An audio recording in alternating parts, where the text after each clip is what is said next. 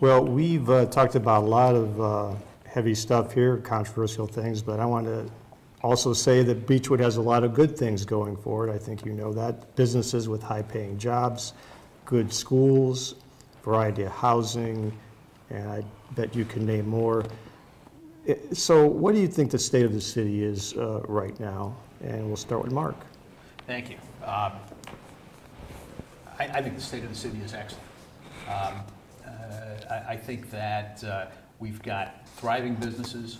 Uh, We still have great portions of and Highlands to develop, uh, which holds great promise. Uh, The ability to uh, increase our income uh, and and our revenue stream through those, and also to increase the value of the properties so that that then filters down to the excellent school system we have. So part of our careful planning is to make sure that those buildings are there. Um, uh, We are, we are the envy of Northeast Ohio in terms of our city services. Uh, When my dad was hurt and had to get taken to the hospital, I heard about it from the police department before I heard about it from the doctors. Our response time is incredible. Uh, The delivery of these exceptional services, I think, puts us head and shoulders above every other community. We may have some issues to deal with, some of the ones that we've talked about today, but in terms of delivery of exceptional services and an outstanding school system, we're second to none. Thanks, Mark. Uh, Justin? I, I agree with everything that, that Mr. Wachter says. Um, But I think for the city to succeed in the future, we need to look a little bit to the past. And when I was a child in Beachwood, the Commerce Park Mercantile area was really the heart of the city. Chagrin Boulevard was just starting to get going. Science Park didn't exist and Beachwood Place didn't exist. Um, The Commerce Park Mercantile area is in desperate need of an upgrade. Um, That property, unlike the Chagrin Highlands property, is in the city of Beachwood um, schools tax base. Um, When we, unfortunately, when, when companies move or build in Chagrin Highlands, the city schools don't get very much money from that. Most of that goes to the Warrensville Heights School District. Commerce Park and Mercantile is all in Beachwood. The city needs to assist the property owners there maybe in conjunction with the schools, on some sort of tax abatement to redevelop the Commerce Park Mercantile area so that uh, though there's, there's a reason to, to build new and, and tear down what's there. It's just not conducive to today's building environment. Okay, thanks. Martin? Well, I, I'm happy with probably 97% of everything we do, and I'm very proud of what we do. And it's a combination of good leadership, good government, location, schools, revenue, business. It's a lot of things mixed in together. But I think there's a lot more we can do, and I think that's the 5% or 3% or whatever that we need to focus on. I'm, I'm very troubled when I pick up Cleveland Magazine, and Cleveland Magazine puts us at 17 in our ranking. So for us to say we're the number one city or we're the premier city, you know, certain rankings just don't give it to us.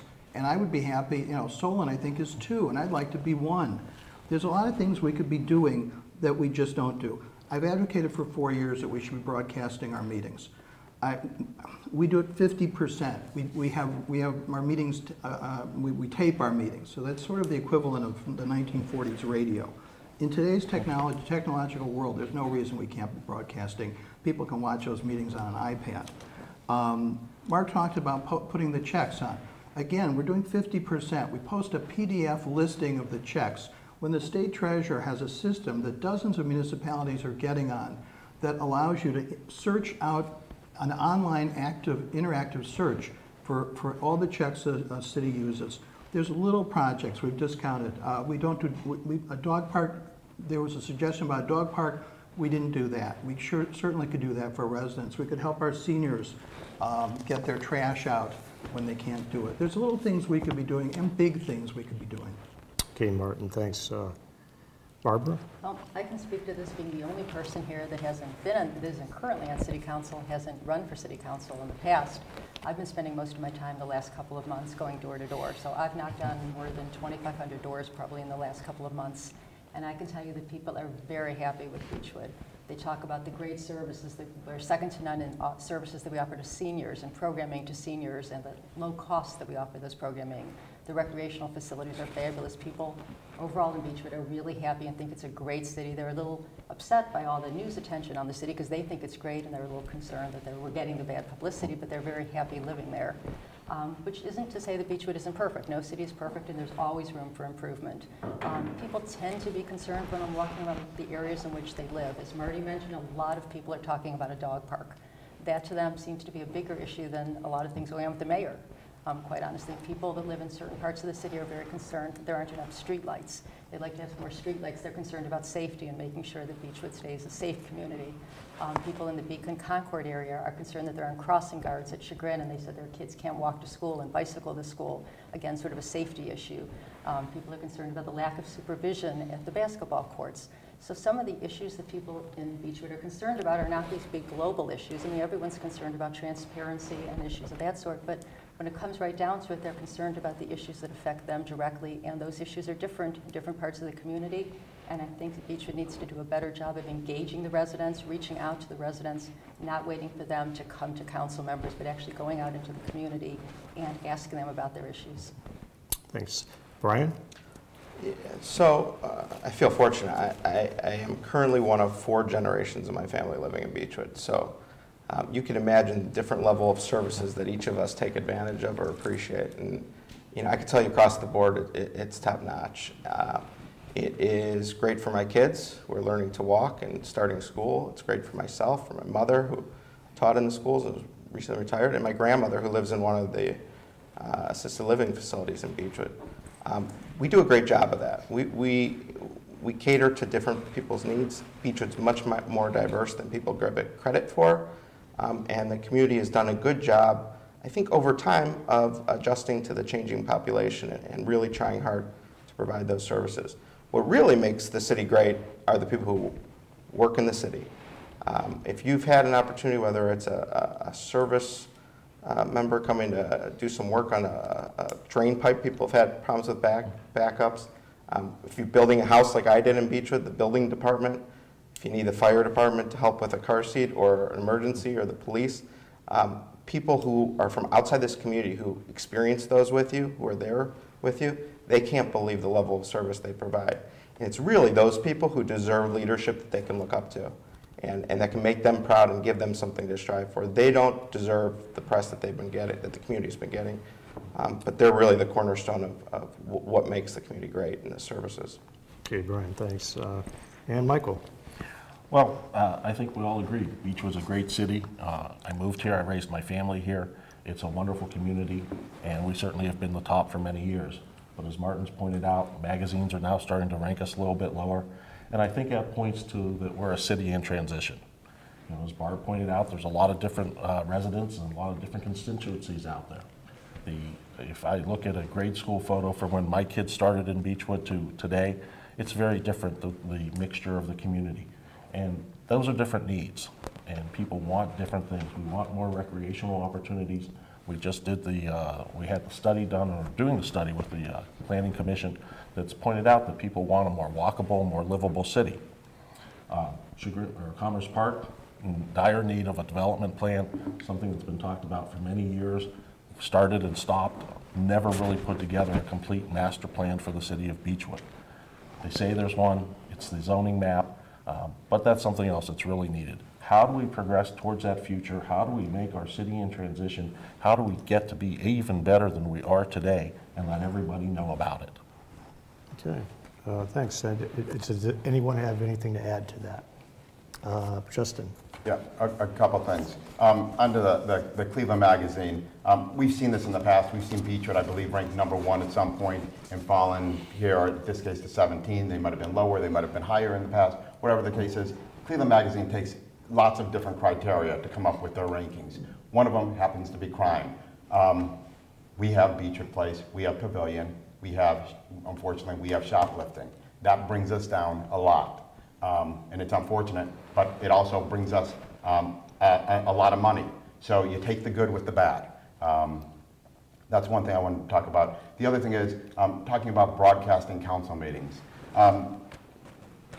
When I was on council, we discussed this. Um, I've done a little bit more research since I was on council too about broadcasting council meetings because it's now 2015 and the idea of fighting broadcasting council meetings may be beyond its, its point. Nonetheless, if you look at a community like Solon, um, Solon has an outstanding system of how they broadcast meetings. And if the city wants to spend the money and do it like Solon, then, then so be it. But we have to decide if we want to spend that type of funding.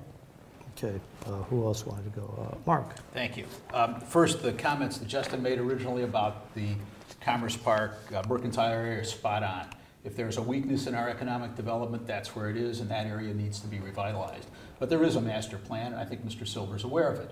We've commissioned the master plan with the master, with the planning commission of the county. That master plan is to be released soon, and we're all anxious to see what it has to say. So it's not just a zoning map, there's an actual plan that's being presented.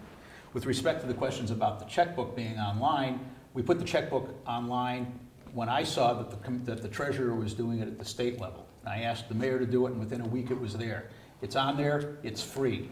I think the Northeast Ohio Media Group reported that the treasurer's version cost the state a million dollars. Well, maybe we're in a PDF version right now, and we'll have some more functionality and more transparency there, but right now, our checkbook's online. In fact, Mr. Silver's looked at it himself. Uh, The diversity of the city is exciting, and I think that we're all looking forward to being able to accommodate it. Okay, anyone else? Uh, Martin? I, I go back to my original point that um, we're all very proud of this city and, and our services are excellent. But I used to run into the same situation on schools where we would say we're the best place to learn. And the way you constantly improve yourself, you're never the best at anything, is you look all around you. I went around the country to conferences to look at the best programs in schools around the country. And I think what we don't do is we don't, as councilmen, look at what the best programs are around the state, around the country. I went down to the Ohio Municipal League Conference two years ago, which is sort of our trade union, if you want to call it that. And the, the finance director said, I don't know how to write you up because you're the first councilman to go down there. And I think we as council have to really educate ourselves about what else is going on outside of our city. We, we do a wonderful job, but we can always improve. We can always bring more residents into the, the system. We can always find a, a new program to try. We can always try and economize in certain areas. There's a lot we can do if we go out and learn from other cities. Okay, uh, Brian? Yeah, and just going back to this checkbook, I- what we have on the city website right now is not the checkbook online. And, and, um, you know, it just so happens the treasurer of the state lives in Beachwood, um, a few doors down from Mr. Wachter over here. Um, So I can think of no better city to adopt what he's trying to do than Beachwood. I mean, I see constantly i- i- in news stories that all over the state, he's standing in, in small communities uh, who have adopted the, the treasurer's program, and it doesn't cost the cities a million dollars. It was a cost of the state to set it up so cities could find it accessible. Um, it's a searchable database. It's functional. It's easy for people to use, and and, and you know, listen, if if uh, there's no reason uh, when something like that's available, the city doesn't take advantage of it. To say it's a cost issue, I, I think is being a little disingenuous with the people in the community. We, we've spent money on far on things that uh, you know, provide far less to the residents and, and to the public than that.